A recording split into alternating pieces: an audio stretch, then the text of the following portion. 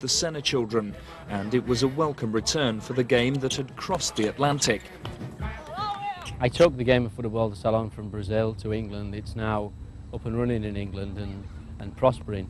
It's marvellous to return to Brazil with a group of English children and play the first international game, so it's a really special moment.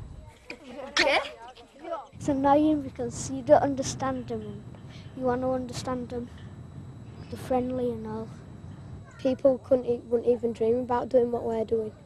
Like a couple of years ago, we were all we were all just um, just mates playing football. There are poor areas. I imagined them to be a bit rough, like in England, in poor areas. If there's anything different, anybody different comes in, you know, a bit, you know, who's that? But they're so friendly. You know, you can just go up to anybody and say hi, you know, thumbs up. They're great with you. Some of the parents and lads went to see at first hand the favelas of Sao Paulo, home to many of the children they were playing against. Tiffany? Tiffany? Oh, look at you.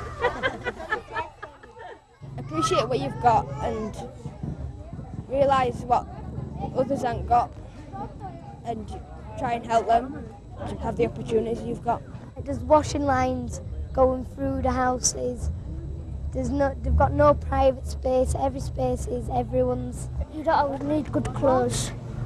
Just to be yourself. What's her name?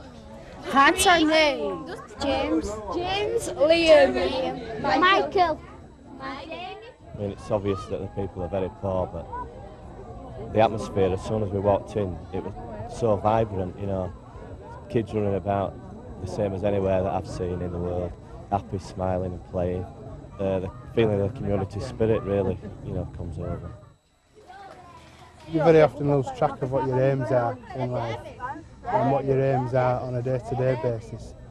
And the, the way that these people motivate themselves is a, is a lesson for all of us, really. They've got a life of their own in here. It's a city within a city. You can't come in and sort of look at their poverty. It mightn't be what we want, but So who's to say what we live in is right? You know, they're listen to them, look at them. They've not got long faces. Everyone's smiling. Everyone's happy. You know, it's, it's different. You know, but I'm glad we're here. I'm glad we've been allowed to come.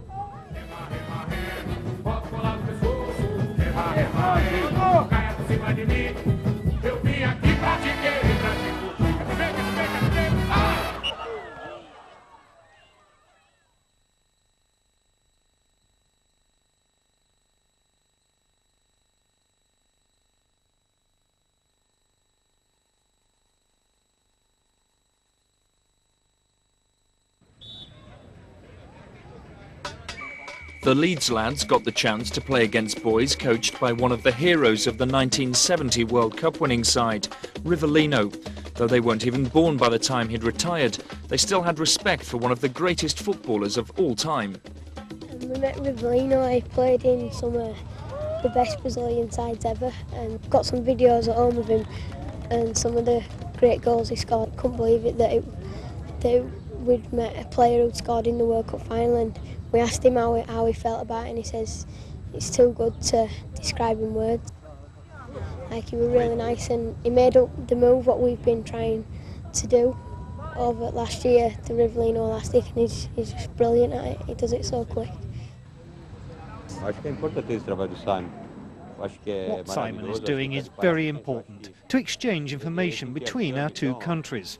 Our children would learn if they visited England, but it's difficult financially. Simon's work will develop new players, and it's wonderful that meetings like this can happen. I hope such exchanges can continue. que só faz bem para o futebol. For coach Simon Clifford, it was the ideal opportunity to practice his Portuguese and nick some of Rivelino's coaching methods.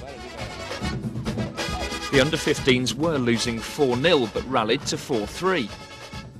But not even a coaching session from the maestro could complete the comeback. I can't believe it myself. I- I've got my t-shirt signed and his autograph and a couple of pictures of him, so I'm pleased with that. We've had a good day, but now we're going to San Paulo Football Club. I believe San Paulo is the best club in the world, and it's certainly the best for producing good Players.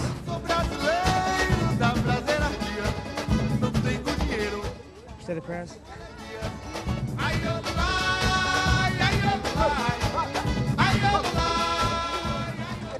Dink. Goal.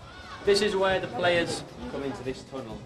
And they get all sort of psyched up and bang the walls and shout and scream and Vamos San Paulo! Come on San Paulo. After a week away and a grueling schedule, some of the lads were yearning for the comforts of home. Missing, we don't, we don't get like cereal in the morning. It's, it's not as nice when you get up for a cup of tea or anything, so it isn't as good. But like, still, I'd still like to rather stay here than go on. But even the lack of a hearty breakfast couldn't put the boys off their game. The hard work back home was paying off, and after a week in Brazil, the boys knew they could hold their own against the skill that had been their inspiration.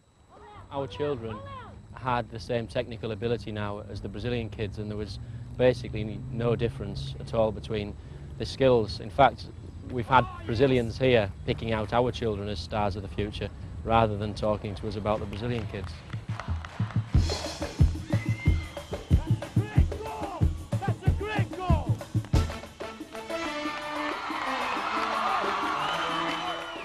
Going back to the Morumbi to watch Corinthians versus Sao Paulo. There's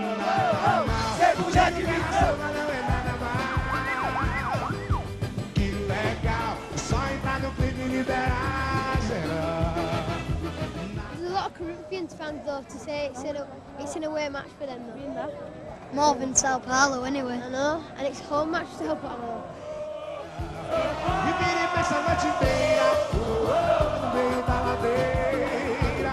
I don't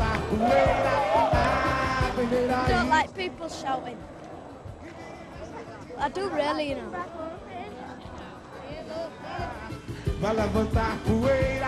The children obviously came here for the football, but more important for me was the social and cultural experience, and it was that that I was really looking for. All the kids were looking for were the autographs of Carlos and his World Cup teammate Serginho.